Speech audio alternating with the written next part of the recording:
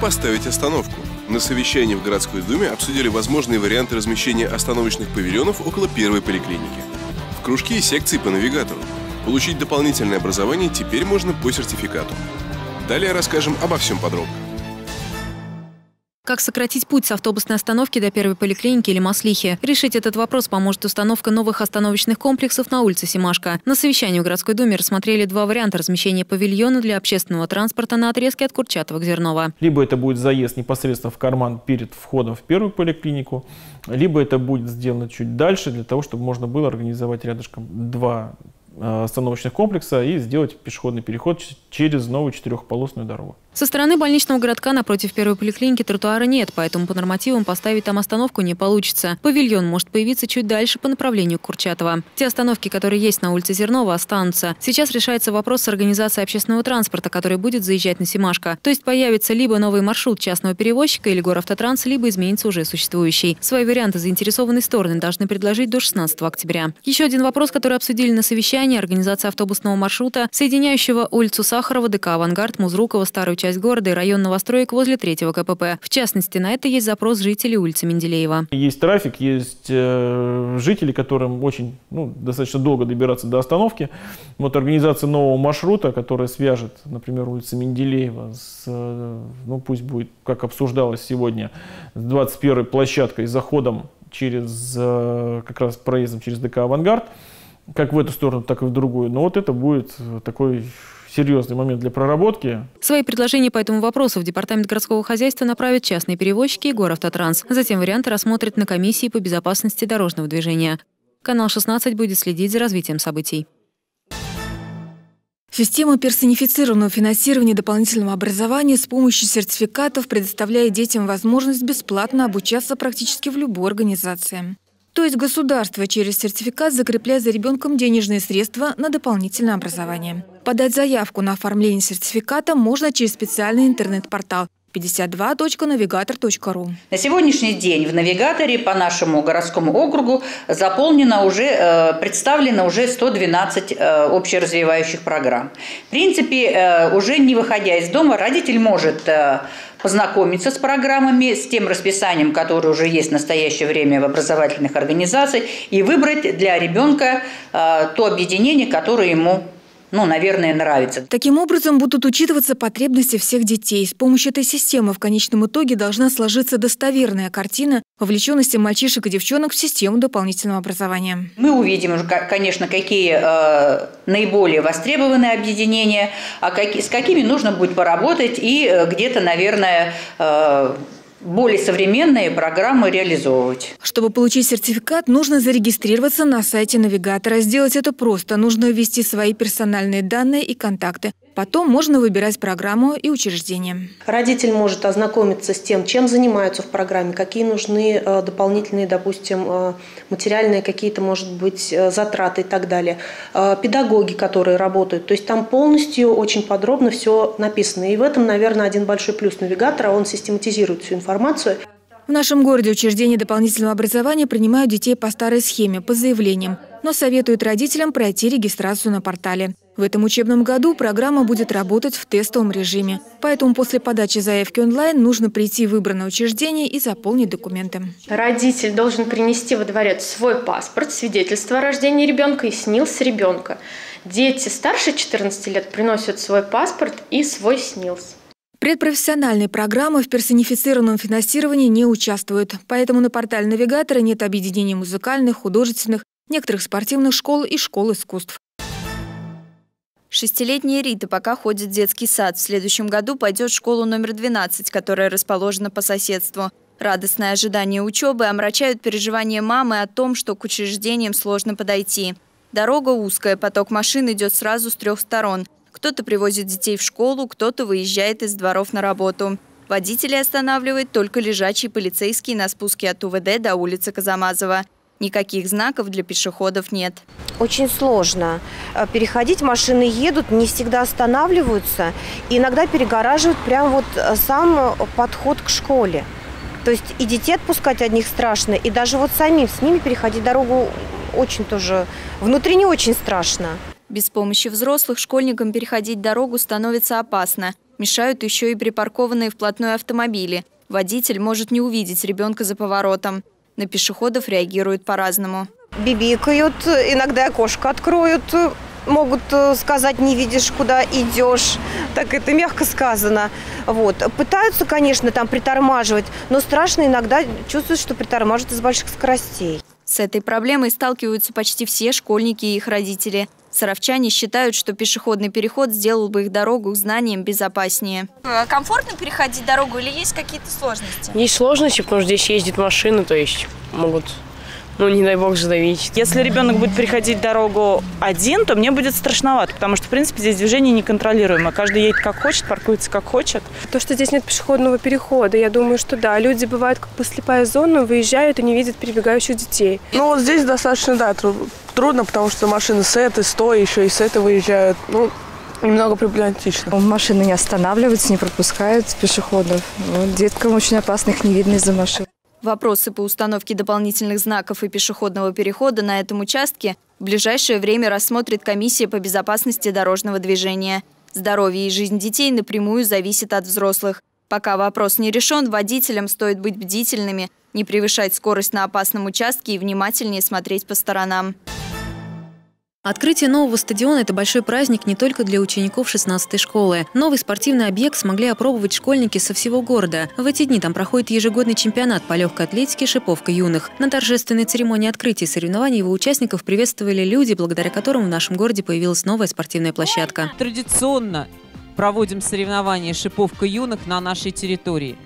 И надо сказать, что в этот раз вам будет и во все последующие годы вам будет очень удобно и комфортно и проводить, и участвовать в этих соревнованиях. Силами работников дорожно-эксплуатационного предприятия на этом стадионе появились новое футбольное поле, волейбольная площадка и площадка, предназначенная для разных видов спорта, беговые дорожки, сектор для прыжков в длину. Установлены новые урны и лавочки, уложено травмобезопасное покрытие. Проект «Межшкольный стадион» – идея депутатов Думы шестого созыва, которую поддержали в администрации. Останавливаться на одном стадионе власти не собираются. И такие же замечательные межшкольные стадионы в следующем году да, Алексеевич, мы сделаем и на седьмом, и на седьмой школе, а дальше будем двигаться согласно плану, согласно, как мы говорим, протоколу, и дальше дойдем потихоньку до 12 и так потихоньку до, до других школ. Также во время открытия соревнований глава администрации Алексей Голубев вручил награды лучшим сотрудникам ДЭП. Екатерина Пенова, Константин Островский, Сергей Рябов, служба новостей Саров, 24. Необходимость строительства нового здания 11-й школы обсуждали в нашем городе несколько лет. Наконец, в этом году при содействии губернатора Глеба Никитина удалось решить вопрос с финансированием. Пришлось взять проект повторного применения и его переработать с учетом изменений требований к охране объекта и пожарной безопасности. Нам удалось сделать довольно-таки интересный проект, который вот э, на сегодняшний момент даже пользуется э, своим э, интересом со стороны других областей, регионов хотят его приобрести. Соответственно, небольшая гордость за это, что мы смогли э, пере, э, полученный проект переделать и получить довольно-таки интересный и качественный продукт. Проектом предусмотрено строительство пяти зданий. Это учебные корпуса и три спортивных зала. Такого в городе еще нет. Также школу полностью оборудуют элементами безбарьерной среды. Работу выполняет компания ТСК, подрядчик, который занимается расширением улицы Симашка. Практически заканчиваем вертикальную планировку. Ну и самое главное, демонтировали старую школу. А вертикальную планировку сейчас э, на этой неделе, ну, крайне на встрече закончим. Плюс земляные работы, это котлован, э, тоже завершаем.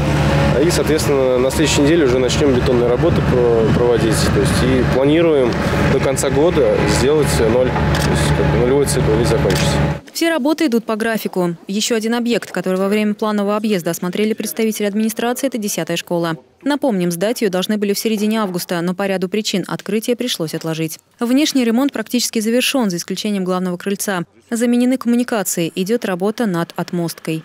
Это, кстати, одна из проблем, а, почему школа начала трещать, потому что отмостка была порушенная, слив воды был а, под фундамент, и это привело к а, тому, что здание, в общем-то, не самой старой школы в городе начало разрушаться. Строители проделали большую работу по укреплению стены всего основания школы. Осталось сделать дорожки из брусчатки, покрасить стены, повесить батареи и постелить линолеум. В октябре начнется установка мебели и техники. Сдать школу планируют в начале ноября. Екатерина Пенова, Владимир Лисик, служба новостей Саров, 24.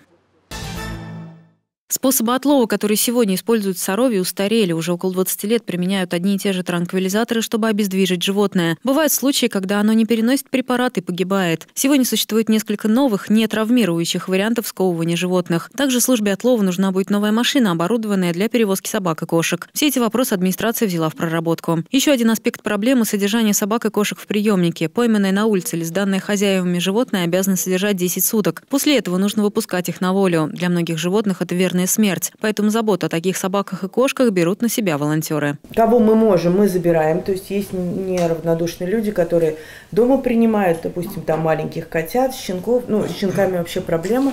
Ну, вот, например, маленьких котят. Кого можем, вывозим. Кого не можем, они содержатся э, в приемнике, силами сотрудников э, облечиваются, э, уход идет. И также силами сотрудников приемника осуществляется пристрой. В среднем в месяц на содержание животных уходит порядка 50 тысяч рублей. В основном это пожертвования неравнодушных горожан. За те 10 лет, что волонтеры помогают приемнику, видны изменения в сознании людей. Все больше саровчан понимают необходимость бережного отношения к братьям нашим меньшим. Но полностью решить проблему пока не удается. Проблем безнадзорных животных конкретно решение. Это стерилизация, кастрация обязательно и проведение профилактических бесед, мероприятий с населением города, именно прививание ответственного отношения к животному. Мы в ответе за тех, кого мы приручили. Вот. И, ну, к сожалению, для некоторых граждан нашего города это еще не совсем приложена истина. Волонтеры давно взаимодействуют с администрацией города и находят поддержку в решении многих вопросов. В том числе на совещании Алексей Голубев предложил им создать собственную некоммерческую организацию, чтобы претендовать на различные гранты и получать дополнительные средства из бюджета. Подобные встречи в администрации будут проходить раз в несколько месяцев, чтобы все заинтересованные стороны могли находить наиболее приемлемые варианты отлова и содержания безнадзорных животных. Екатерина Опенова, Константин Островский, Сергей Рябов, служба новостей Саров 24. Старшеклассники творят, узнают, создают. Так звучит своеобразный слоган ежегодного слета учащихся. Сюда пришли ребята с активной гражданской позицией, разнообразными идеями и планами по их воплощению. Артем несколько лет активно участвует в проекте. В этом году заканчивает школу. Несмотря на предстоящие экзамены и подготовку к поступлению в ВУЗ, он уделяет время общественной деятельности. Это как площадка самовыражения. Во-первых, э, э, просто прийти послушать, что делают в школах, что делают в организации. Также координационный совет совет статуса, который собирается каждую неделю, придумывать какие-то различные мероприятия для себя, для города. Представители молодежных объединений Сарова разделились на три площадки. На одной из них участники обсудили план ежемесячных занятий школы «Лидер». Ученики выбрали наиболее интересные темы семинаров, а также предложили спикеров, которых они хотели бы видеть в рамках проекта. Он поможет школьникам выявить и развить лидерские качества, научиться преодолевать трудности социализации и не бояться публичных выступлений. Егор Горин активно участвовал в обсуждении группы. Девятиклассник уверен, полученные знания и навыки пригодятся ему в обучении и будущей профессии Я предложил тему «Как уметь влиять на людей и как их заставить действовать, э, работать над той или иной задачей, в том числе и заставить самого себя, э, скоординировать себя, свои силы и силы своего коллектива, чтобы вместе, совместными усилиями добиться результата. На другой площадке встречи обсуждался проект, который посвятили 75-летию победы в Великой Отечественной войне. Школьники предлагали идеи тематических работ, городских событий и флешмобов, пути их реализации. 75-летие победы – это ключевая дата ближайшего времени для нашей страны. И ребята готовят свои предложения о том, как э, школьники с, фактически с 4 по 11 класс школьники города Сарова, как они смогут э, поучаствовать в этом праздновании, в этом юбилее, что они могут сделать полезного и для взрослых, и для себя, и для города. Остальные участники обсудили общую программу деятельности Союза старшеклассников в этом учебном году. Дарья Козина, Артемий Глазков, Сергей Рябов, служба новостей Саров 24. Даниэла Казакова на выставке «Мечтаю, честь твори» представила сразу две работы «Домовенок Кузя» и «Поп вместе с Попадьей». Последнюю девушка приурочила к 220-летию со дня рождения Александра Сергеевича Пушкина. В Семенове на международном фестивале работа Даниэла заняла второе место. Куклы сделали с текстильной техники, а сама комната из фанеры. Нужно было найти материалы, и чтобы коробка была и легкая, но и довольно плотная чтобы стенки держались. Анастасия Мечтаева представила на выставке картину в технике маркетри. Над ней девушка работала больше года. Самое сложное, по ее мнению, подобрать цветовую гамму и приклеить все детали деревянной мозаики на лист бумаги аккуратно. На моей работе изображена девушка в пледе вместе с э, олененком на фоне леса и гор. Я очень горда, то, что моя работа выставлена здесь. Все-таки это такая история.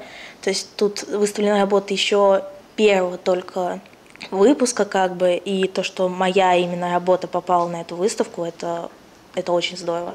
Помимо нынешних учеников, на выставке представлены работы выпускников детской школы искусств номер два. Это резьба по дереву, художественная керамика, авторская кукла и даже горьковский гипюр. Экспонаты ранее выставляли в Москве, Санкт-Петербурге, Нижнем Новгороде, а также в Болгарии, Франции и Америке. Отличительные особенности этой выставки в том, что некоторые работы э, выполнены более 20 лет назад первыми выпускниками. Организовывать и посещать такие выставки важно, потому что они наглядно демонстрируют ну, детям, да, чем жили наши предки, то есть чем они э, увлекались, какой был у них быт. Ну и плюс они демонстрируют э, тем ребятам, кто собирается прийти да, на обучение, каких результатов они могут достигнуть в нашей школе. На выставке «Мечтай, учись, твори» представлено более 100 работ. Экспозиция продлится до 25 декабря. Посетить ее могут все желающие. Подробности по телефону 951 84 без возрастных ограничений. Ирина Вышегородцева, Владимир Лисик, Сергей Рябов. Служба новостей Саров 24.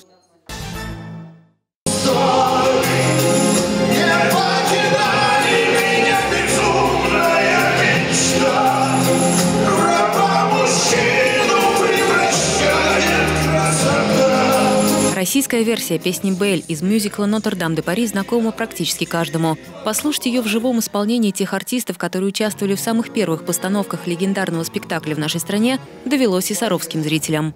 В наш город привезли не весь мюзикл, из него отобрали несколько арий. Получился своеобразный спектакль-концерт при минимуме декораций и без сложных танцевальных номеров. Мы сохранили логическую историю где-то про проложили вставочками каждые номера, чтобы была хотя бы какая-то рассказанная история, как от рассказчика какого-то за кадром. И, в принципе, все зрителю понятно теперь, о чем идет речь.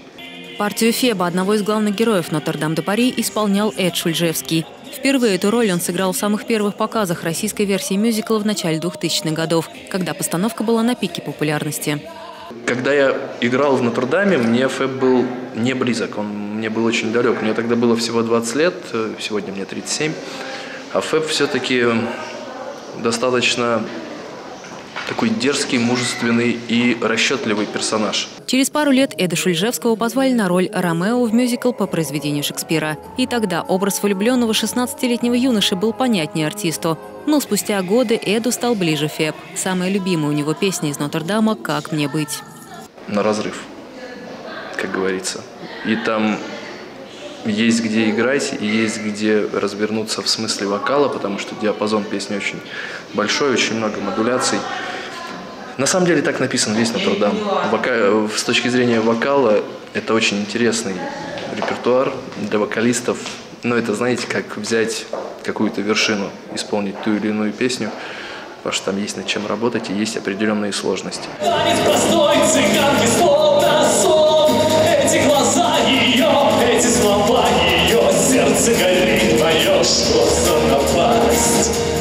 втором действии артисты показали отрывки из мюзикла «Ромео и Джульетта». Оригинальная версия, так же как и «Нотр-Дам де Пари», была поставлена во Франции. Она облетела весь мир, стала популярной в России. Саровские зрители смогли послушать любимые арии из этого мюзикла. Екатерина Опенова, Владимир Лисик, служба новостей «Саров», 24.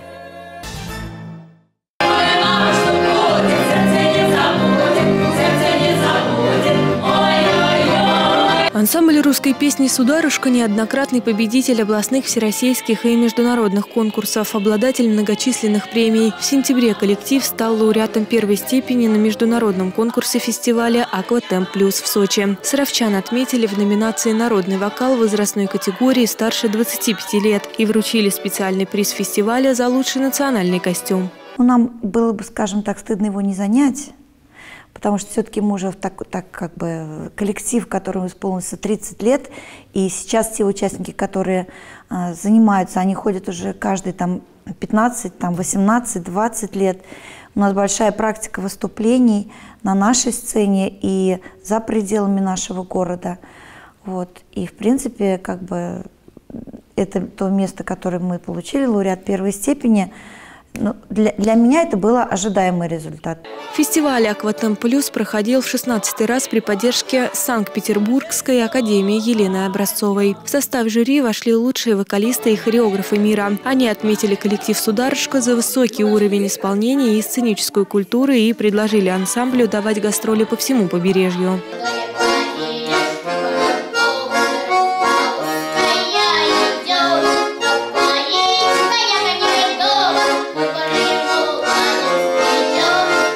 Фестивале выступил еще один воспитанник Людмилы Карпушовой Влад Глазков. Занимается мальчик в детском ансамбле русской песни «Забава». На конкурсе он исполнил две композиции «Залетала вольно пташечка» и «Эх, не пыли дорога». Влад стал победителем в своей возрастной категории и получил специальный приз за высокое профессиональное исполнение.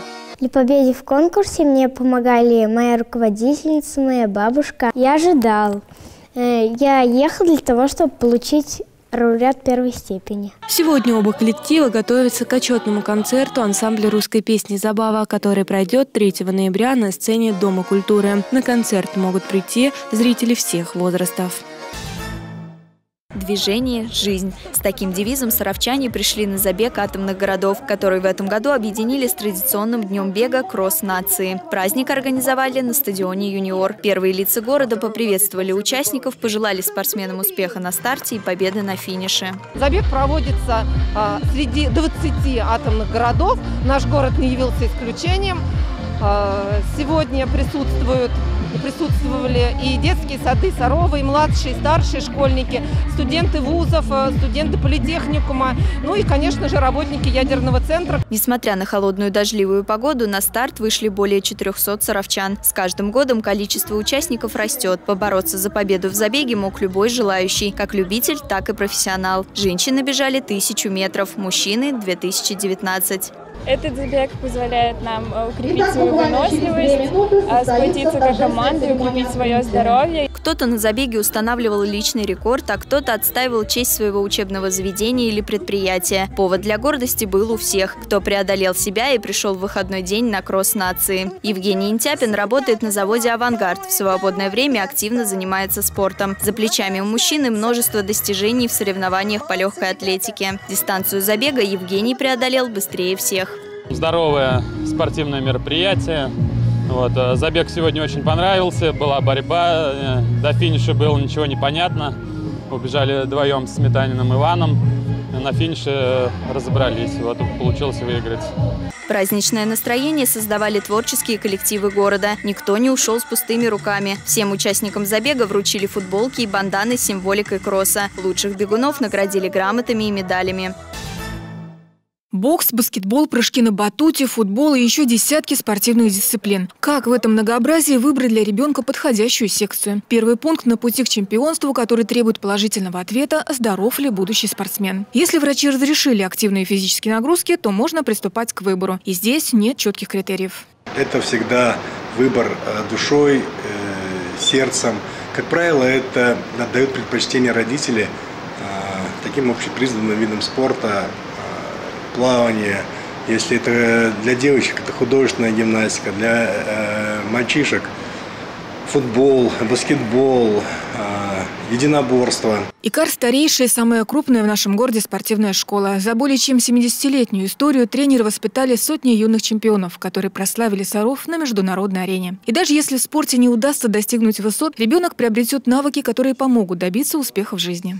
Эти навыки им помогают в целом в жизни идти успешными быть, талантливыми и достигать цели, которые они перед собой ставят. Вот именно этому учит спорт, учит э, спортивная школа, тренеры, которые вкладывают в детей свои свою душу, так сказать. Как говорят тренеры, зачастую выбор за ребенка делают родители, которые хотят видеть его на пьедестале подсчета. Но заставлять заниматься через силу не стоит. Прежде всего нужна поддержка и понимание со стороны близких. Для того, чтобы воспитать чемпиона, нужно желание самого спортсмена, самого ребенка, настрой родителей, готовых ему помочь, и профессиональный как бы, уровень тренера его, а также потраченные годы, тренировочного процесса. Бывает, что любовь к спортивной дисциплине у ребенка приходит чуть позже. А если польза видна на практике, то тренировки будут проходить с удвоенной силой. Жене Копыловой пришлось применить приемы борьбы в школе. Обидчик явно не ожидал встретить отпор от девочки.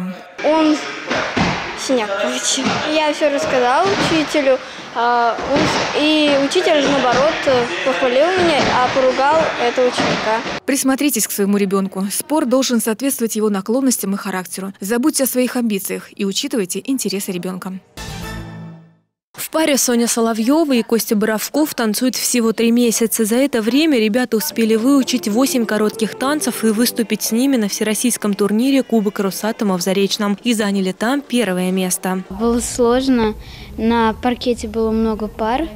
Э, было сложно сосредоточиться. Но у нас получилось, и мы заняли первое место. Больше сложнее было Соне. Но как бы она справилась, ну и я тоже как бы помог. Говорил ей, какие движения, что там надо сделать. В начале лета в студии ДЭК образовалась еще одна пара Антон Линик и Диана Кузнеченкова. Спортивными бальными танцами оба занимаются больше пяти лет. Смена партнера для них не в новинку. Сложнее всего для ребят было выучить за короткое время 10 танцев и сразу показать их на турнире в Заречном. В своей возрастной категории пара стала лучше и привезла домой сразу несколько медалей. Наш результат вообще был неожиданным.